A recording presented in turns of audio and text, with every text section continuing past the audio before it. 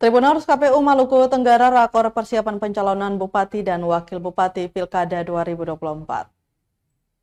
Komisi Pemilihan Umum KPU Kabupaten Maluku Tenggara menggelar rapat koordinasi atau rakor tahapan pencalonan Bupati dan Wakil Bupati tahun 2024 di wilayahnya.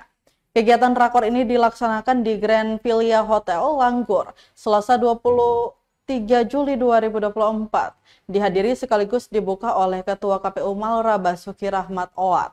Nurjana Yunus, staf ahli Bupati Bidang Kemasyarakatan dan SDM tampil sebagai salah satu narasumber di kegiatan ini. Kemudian Ketua KPU Malra Basuki Rahmat Owat mengatakan, rapat koordinasi ini penting, pasalnya terkait pencalonan kepala daerah. Perlu penyatuan persepsi berbagai elemen sebelum KPU berhadapan dengan tahapan itu.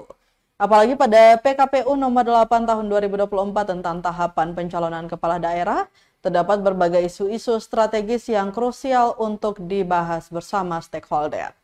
Sementara staf ahli Bupati Bidang Kemasyarakatan dan SDM Nurjana Yunus menegaskan, pentingnya netralitas ASN dalam menjaga proses pilkada berjalan dengan aman dan damai. Selain itu, ASN dilarang berpolitik praktis seperti kampanye untuk mendukung calon tertentu, apalagi memposting melalui media sosial.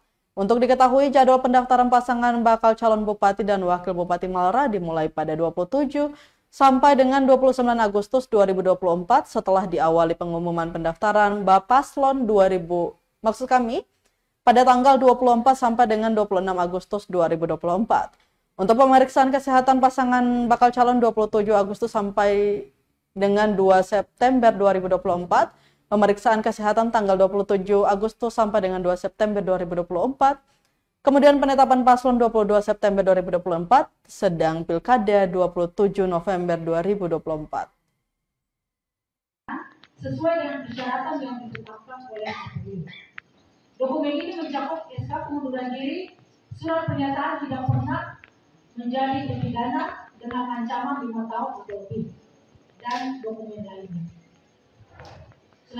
Download Tribun X sekarang, menghadirkan lokal menjadi Indonesia.